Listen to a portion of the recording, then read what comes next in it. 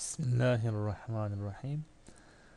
Hareketsiz metinlere nasıl hareke verilir veya hareke verilmişse bile neye dayalı olarak o harekeler verilmiş? Bunu incelemeye dair videolar hazırlıyorduk. Şimdi dördüncü videomuzla birlikteyiz. İlk üç videomuzu Ebu Hanife'nin vasiyeti üzerinde yapmıştık. İlgili pdf'yi video altında paylaşmıştık. Şimdi dördüncü videoda birlikteyiz. Bu pdf'yi de hemen videonun altına koyacağız. Oradan çıktı alıp takip etmeniz, notlar almanız mümkündür. Takip olmasına göre bu pdf'yi baştan sona da inceleyebiliriz. Takibe göre değerlendirilebilir.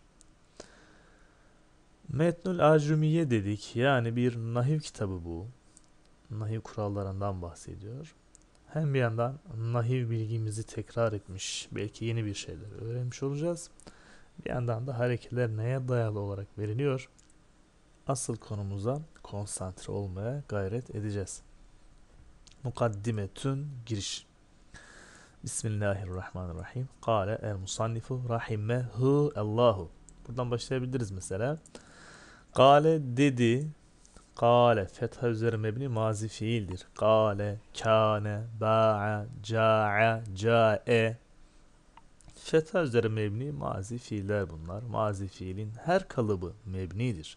Mebni tablomuzdan bunu hatırlıyorsunuz mebni olduğunu. Kale el musannifu peşine gelen kelime el musannif işte musanni ilk üç harf yani elif saymazsak mimle birlikte ilk üç harfin hare harekesi mu. Mimde niye e, zamme var? Sattaki hareke nasıl oldu? Nundaki hareke nereden geldi? Bunun üzerine ne diyorduk? Biz diyorduk ki bu sarf ile alakalıdır. Sarf ilmiyle alakalıdır. Sannefe yusannifu tasnif musannifun. Yani ne demek bu? Bina kitabını okuyan veya o seviyede Arapça görmüş olan birisi bilir ki tefil babından türetilmiş bir ismi faildir bu. İsmi faili tefir babının ismi faili. Mim zammeli gelir. Peşine gelen harf fethalı gelir. Daha sonra gelen harf şeddeli ve esrelidir. Musanni. Bu şekilde gelir. Ferraha yuferrihu tefrihun müferrihun. Buna örnektir. Yazalım hatta. Müferrihun.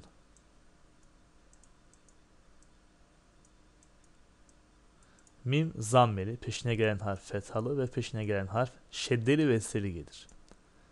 Bu sabit. Asıl konu sonuncu harfin harekesi nasıl olmalı? Sonuncu harf işte fa harfi burada zammeli gelmiştir. Zamme eşittir ötre yani aynı şey. Neden?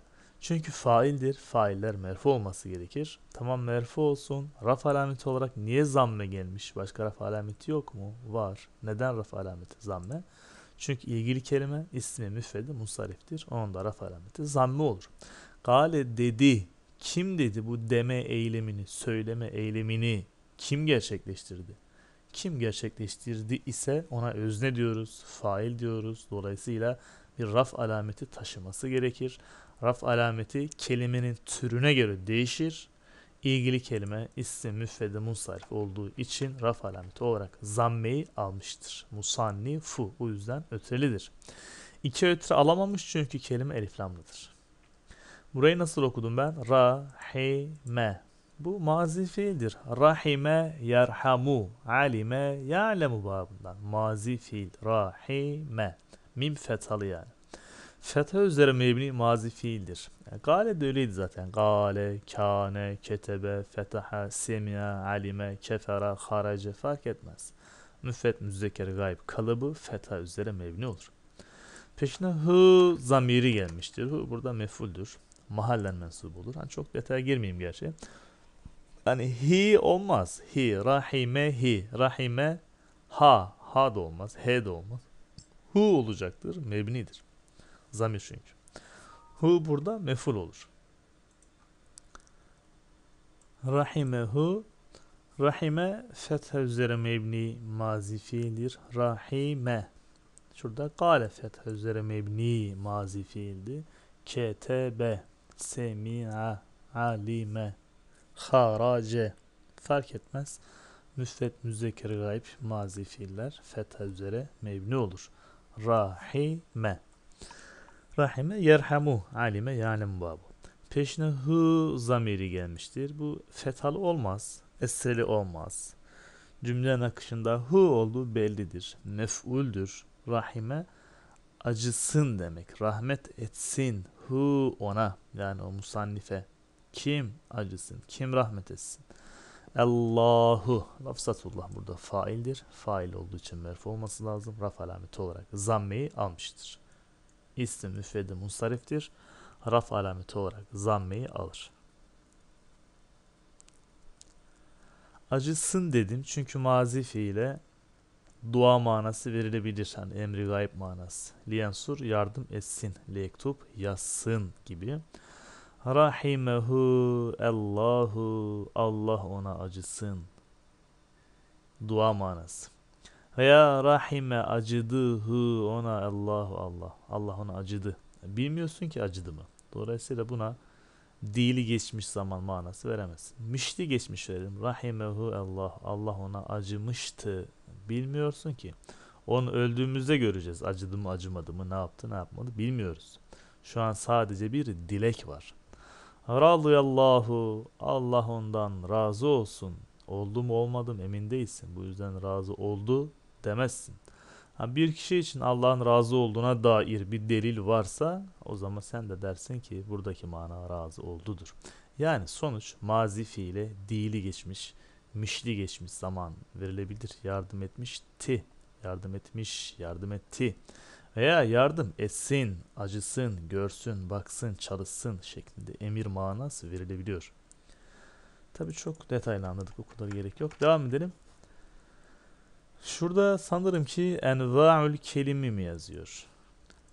Başka bir baskıdan bakıyoruz. Zaten öyle bir yazı yok. O yüzden önemli değil. Onu geçiyoruz. Burayı yok saydım. Bazı baskılarda var. Bazılarında yok. Şuraya gelelim biz. El kelamu. Kelam nedir? Görüyorsun ki el kelamu mimde ne var? Zamme var. El kelam kelimesi burada müpteda olduğu için merfudur. Raf alameti niye zamme? Niye ötre? Çünkü ilgili kelime ismi müfredi munsarif olarak adlandırılıyor. Bu yüzden e, raf alameti olarak zammeyi almıştır. İki tane zamme, iki ötre yani temin alsaydı, şöyle bir şey yazılsaydı üstüne neden olmadı? Çünkü ilgili kelime eliflamlıdır. Peki tamam neden merfudur? Niye raf alameti alıyor? Fetha alsaydı, esra alsaydı altına bir tane olmaz. Neden? Bu kelime müptedadır. Müpteda olduğunu nereden anladın yani merf olması gerektiğini? Yani belki de bu kelime faildir. Ortada bir fiil yok ki bir fiilin failidir diyebileyim. Hani fail olsa da zaten merfu olacaktı. Değişen bir şey yok. Yani belki mefuldür. Meful olması için bir fiilin meful olması lazım. Ortada bir fiil yok. Rahime fiili var. Belki onun mef'ulüdür. Ben öyle düşünmüştüm. Rahime'ye mef'ul hu'yu verdik zaten. Ama gidip ille de el kelam oraya mef'ul olur mu diye düşünürsek bir inceleyelim. Rahime acısın demek. Kim? Allahu Allah. Allah kime acısın? El kelame. Kelama acısın. Ya kelam kim ki kelam acısın? Allah insanlara acısın. Hayvanlara acısın. Yani merhamet etsin. Yani canlılara yani kelam bir canlı bir şey değil ki ağzından çıkan sözün sözle nasıl acısın? Dolayısıyla meful olarak düşünülmesi mantıkla, gramerle bağdaşmaz. Bir şey faildir, mefuldür derken onda bir mantık ilişkisi aranır. Kelam müpteda. Hüve nedir? Hüve de ikinci müptedadır. El lafzu niye merfu, niye ötürü almış? Çünkü el lafız kelimesi haberdir. Ha o zaman burada iki tane müpteda, bir tane haber var tek tek bakarsan. Ama şimdi biraz daha bütünleştirici bir gözle bakalım. El kelam birinci müpteda, hüve ikinci müpteda, lafız birinci haber. Yani lafız hüvenin haberidir onu söyleyelim. Lafız neyin haberi? Hüvenin haberi.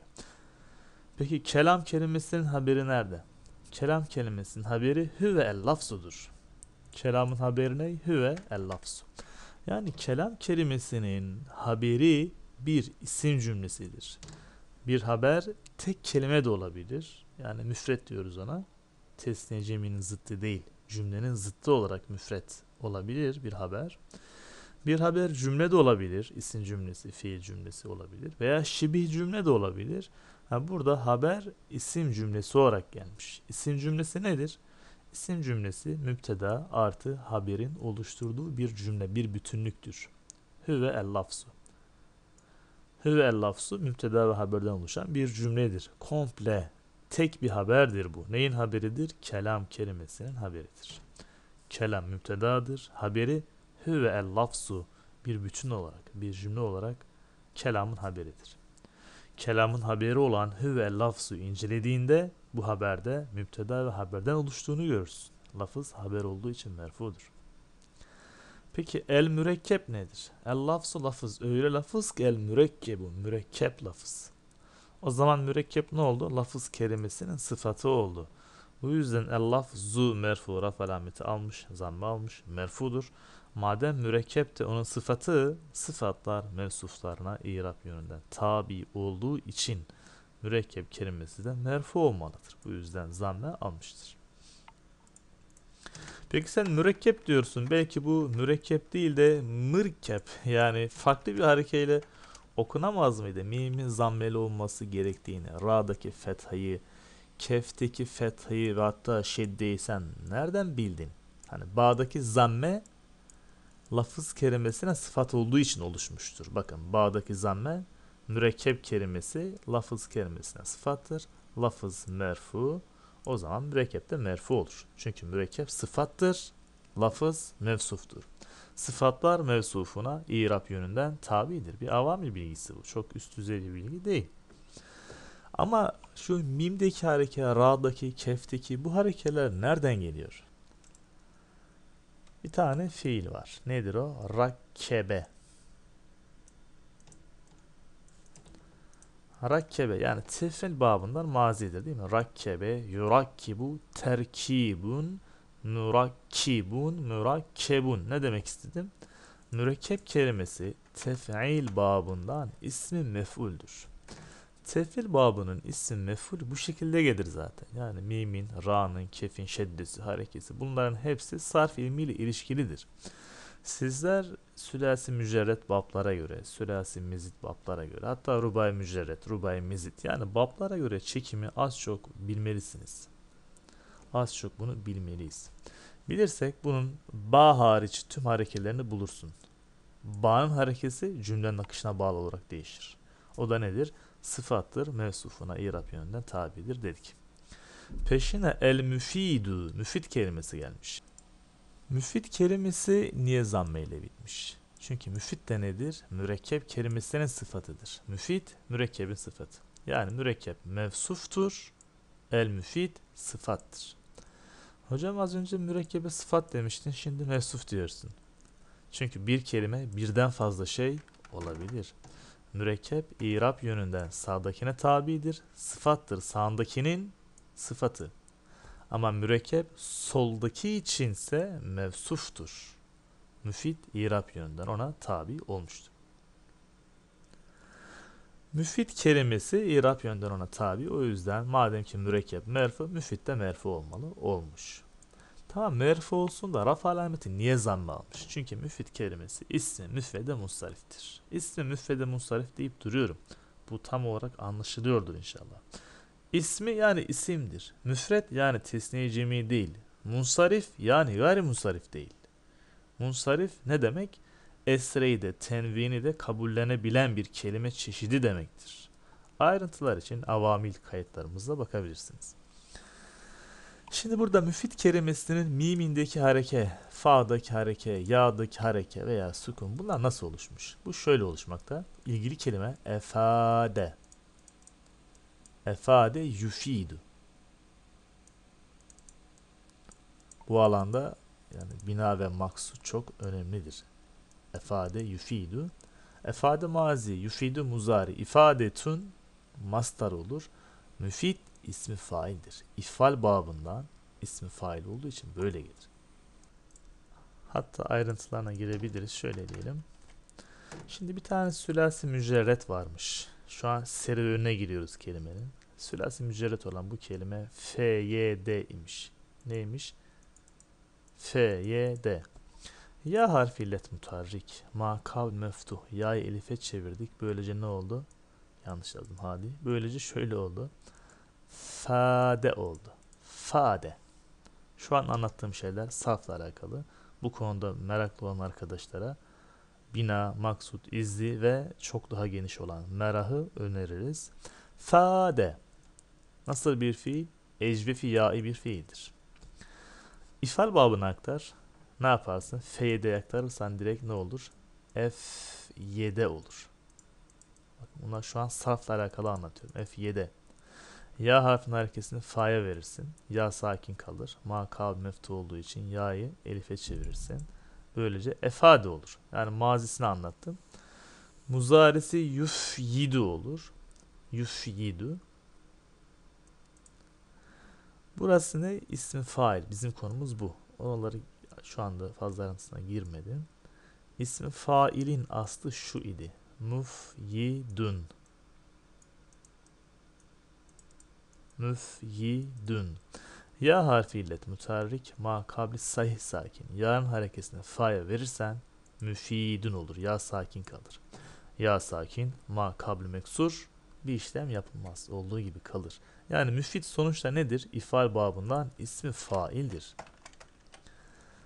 Merfu olma gerekçesini söyledik. Bil ve ba harfi cerdir. Harfi cerler mebnidir. Harfi cer olan ba daima esreyle yazılır. Ne iş yapar? Cer ameli yapar. Etkisi budur. El vev'i ayındaki esre ba harfi cerrinden kaynaklanmaktadır. Niye tek esre aldı? Çünkü el vev elif lamlıdır. Bundan dolayı. Böylece sıradaki yerimiz burası. Burada kaldık.